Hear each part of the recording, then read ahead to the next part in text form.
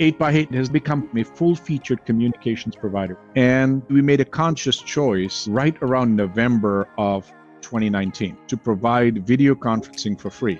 I was stunned by the adoption. Between March and end of April, we saw usage go from about 150,000 monthly active users to almost 20 million monthly active users.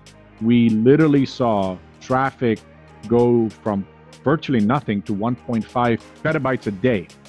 The new service was providing a massive amount of value to customers all over the world.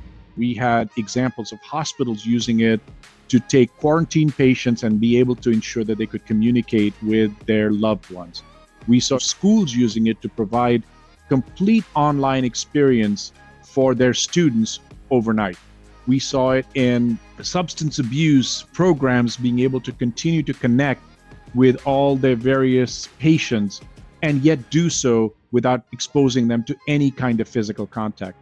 Oracle's second generation cloud infrastructure, Fast Connect, enabled us to connect our core infrastructure to OCI, and we saw approximately an 80% cost saving in network egress costs. And we also saw between 25 to 30% performance improvements. We had to make no changes to our application, and we were able to transition to OCI over a four day period, which was phenomenal. So we could not have asked for a better partnership.